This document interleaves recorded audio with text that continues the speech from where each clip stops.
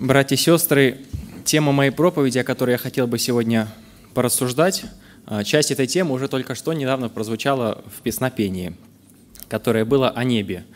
А, подобная тема проповеди будет у меня. Я прочитаю текст, который записан в послании к евреям в 11 главе с 15 стиха. 15 и 16, два стиха прочитаю. Евреям 11 глава, 15 и 16 стих. «И если бы они имели в мыслях то Отечество, из которого вышли, то имели бы время возвратиться. Но они стремились к лучшему, то есть к небесному, посему и Бог не стыдится их, называя себя их Богом, ибо Он приготовил им город». Братья и сестры, Бог, когда творил всю Вселенную, когда творил Землю, когда творил все, что наполняет нашу Землю, человека Он сотворил особенно. И человека поставил особо, наделив его свободной волей, наделил его правом выбора. И человек на сегодняшний день, имея право выбора, этим правом пользуется и выбирает. И каждый здравомыслящий человек всегда стремится выбирать лучшее – Самое лучшее, что ни на есть. Да? Приходит в магазин, ищет самый лучший товар по самой лучшей цене и его выбирает. Покупает автомобиль, тоже ищет, чтобы самый лучший был, по его мнению, и также по самой лучшей цене. Братья и сестры, и все в нашей жизни, что мы не делаем, мы всегда стремимся к лучшему, как нам кажется. И здесь также написано о героях веры, что они стремились к лучшему, то есть к небесному – Братья и сестры, мы с вами все понимаем, что небесное – это лучшее, это самое лучшее, это высота, выше которого ничего не может быть.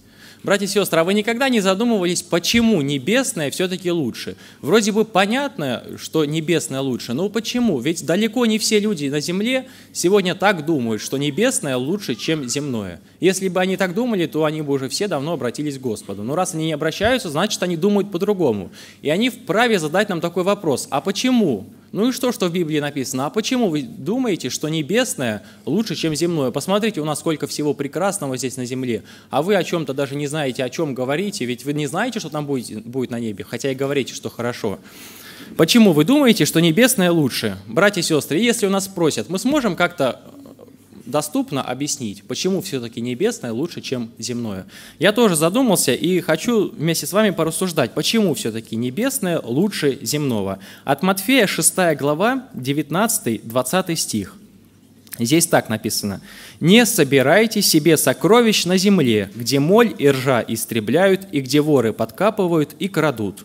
Но собирайте себе сокровища на небе, где ни моль, ни ржа не истребляют, и где воры не подкапывают и не крадут. Ибо где сокровище ваше, там будет и сердце ваше». Братья и сестры, первая моя мысль – земное, оно временно, а небесное – вечно – Давайте вспомним одного из героев веры, о котором тоже написано в 11 главе. Это Моисей. О нем написано так, что он лучше захотел страдать с народом Божьим, нежели иметь временное греховное наслаждение. Братья и сестры, Моисей понимал, что небесное – это вечно, а, а земное, оно временно. Братья и сестры, и этот выбор Моисея действительно сделал его героем веры. Ну вот вы перенесите сейчас в наше время, представьте такую ситуацию, что Человек, который ничего абсолютно не имеет, более того, на то время народ Моисея был в рабстве. И представьте, Моисею выпадает такая возможность оказаться сыном дочери фараона. То есть, можно сказать, будущим наследником всего египетского царства. На тот момент египетское царство это было одно из лучших по всей земле. Это египетская цивилизация, это сильное войско, это слава по всей земле, это почет, это все. И вы представьте, от всего от этого Моисей отказывается – и захотел страдать с народом Божьим.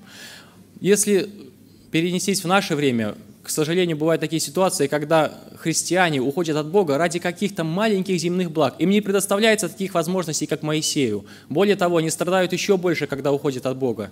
Ну, выбирают какие-то маленькие земные блага и отказываются от Бога. У Моисея все наоборот. Он отказывается от всего, от максимально предоставленных земных благ, он отказывается в пользу того, чтобы чтобы получить небесное. Потому что Моисей знал, что это все земное, оно временное и греховное, а небесное, оно вечное. Братья и сестры, какой прекрасный пример для нас оставлен на страницах Писания через Моисея. И вы помните, как потом Бог им пользовался. Это был друг Божий. Моисей общался с Богом наедине, сходил на гору, был предводителем израильского народа при выходе из египетского царства. А изначально все было правильно, сделал правильный выбор в пользу небесного и отказался от этого временного греховного наслаждения. Братья и сестры, вот поэтому, как бы нам ни казалось все это прекрасным здесь на земле, как бы нам ни хотелось все это получить, давайте не будем забывать о том, что это временно, и оно все пройдет. Пусть даже нам кажется, что еще вся жизнь впереди, что я еще много чего здесь хорошего получу,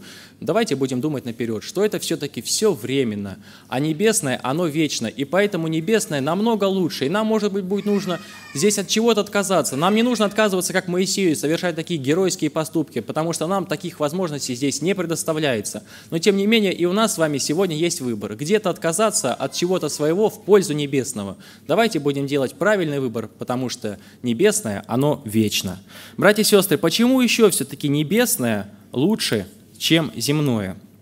Как я уже прочитал, Моисей отказался от временного греховного наслаждения. Братья и сестры, земное, оно греховное, а небесное, оно свято. В каждом из нас есть две природы. Одна природа – это плотская, которая греховная, которая всегда нас толкает на греховные поступки, а другая природа, она есть только у тех, кто получил рождение свыше. Это природа духовная, это природа, которая нам подсказывает, Дух Святой, который нас обличает в том, что как нам нужно правильно поступать. Братья и сестры, но побеждать из нас будет та природа, которую мы кормим, которой мы отдаем приоритет. И даже если в нас есть живая духовная природа, но мы часто склоняемся к плотскому и поступаем по плоти, то, как написано в Библии, если будете жить по плоти, то умрете. Братья и сестры, здесь не только о физической смерти говорится, здесь говорится о смерти духовной. Если будете жить по плоти, то ваша духовная природа, она умрет, и останется только плотская, и уже духовный, на духовные поступки вы будете не способны. Братья и сестры, но если мы будем побеждать нашу плотскую природу небесным, побеждать духовной природой, то потом впоследствии нам будет легче одерживать эти победы, потому что наша духовная природа, она будет усиливаться, а плотская ослабевать. Самое тяжело это будет с самого начала, но потом, когда наша духовная природа будет усиливаться, нам эти победы будет одерживать уже легче. Братья и сестры, давайте рассмотрим такой вариант. Самое простое и необходимое – это финансовый вопрос. Все мы понимаем, что да, нужно зарабатывать, нужно содержать семью и так далее. Это необходимая часть. Но когда это земное, оно становится в приоритете перед небесным, когда это становится для нас самой важной целью в нашей жизни – тогда мы уже способны идти на компромисс со своей совестью, и где-то не совсем честно поступать ради какого-то заработка, где-то даже готовы пожертвовать взаимоотношениями с братьями и сестрами, испортить с ними отношения ради того, чтобы получить вот это, что для нас первостепенно важно. Братья и сестры, если для нас первостепенно важно будет небесное, то мы будем готовы пожертвовать всем остальным ради того, чтобы вот это небесное получить. Братья и сестры, и хорошо, если мы будем стремиться к этому небесному, потому что оно свято, а все здесь земное, все, что не есть, оно оно все греховно. Братья и сестры, и последнюю мысль, которую я хотел бы выделить, почему все-таки небесное лучше, чем земное, выбирая небесное, человек счастлив уже здесь, на земле. Вы знаете, у людей этого мира сложилось неправильное ощущение того, что люди, которые верят в Бога, это люди жалкие, эти люди несчастные, они не видят никакой красоты в этой жизни. Это ну, совсем не то, что, чего им хотелось бы иметь. А ведь все люди, в том числе и верующие, и неверующие, они хотят быть счастливыми. И неверующие люди, они по-своему представляют это счастье. Кто-то думает, что счастье в больших деньгах и стремится их заработать. Кто-то думает, что счастье – это слава, это почет, это уважение, это власть или еще что-то подобное, и к этому стремится. И далеко не многие этого достигают. Но даже те, кто этого достигают, они получают всего лишь жалкую иллюзию этого счастья, которое проходит очень быстро.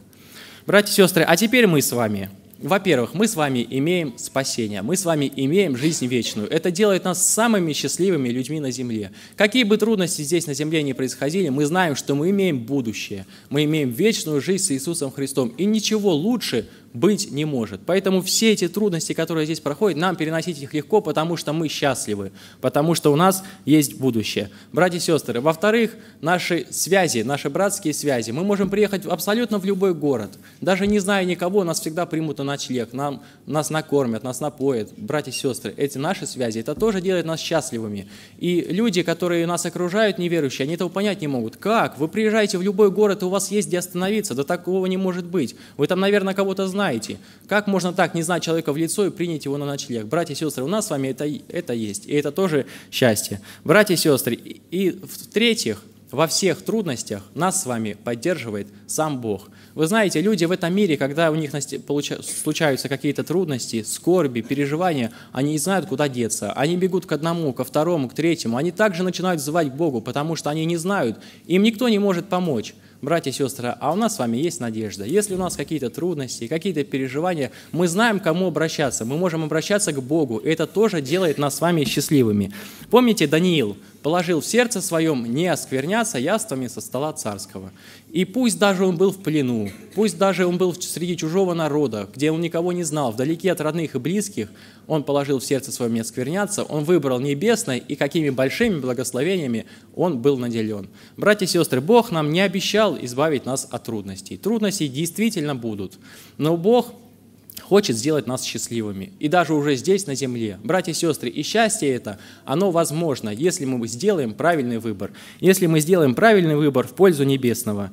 И я верю, что 11 глава Евреям, где написано о героях веры, она не закончена. Я верю, что она пишется и сегодня. И, возможно, кто-то из нас тоже может оказаться в этой 11 главе.